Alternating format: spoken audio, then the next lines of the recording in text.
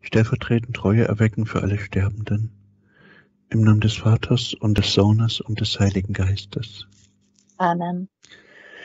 Dieses Gebet soll und muss gebetet werden, dass ich sie retten kann. Heilandsworte.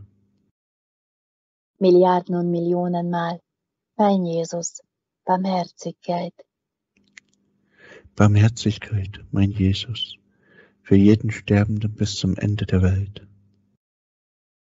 Milliarden und Millionen Mal opfern wir das kostbare Blut und die Bluttränen dem himmlischen Vater auf. Für jeden Sterbenden bis zum Ende der Welt und bedecken ihn mit dem kostbaren Blut und dem unbefleckten Herzen Mariens.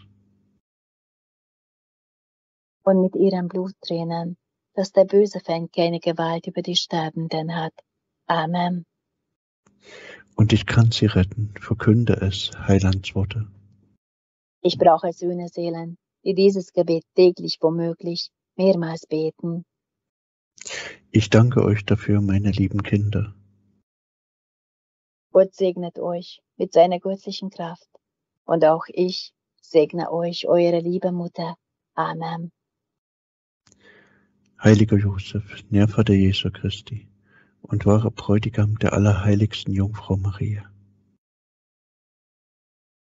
Bitte für uns und für die Sterbenden dieser Nacht.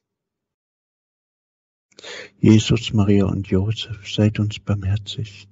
Wir lieben euch, rettet alle Seelen, besonders die Priesterseelen und die Gottgeweihten.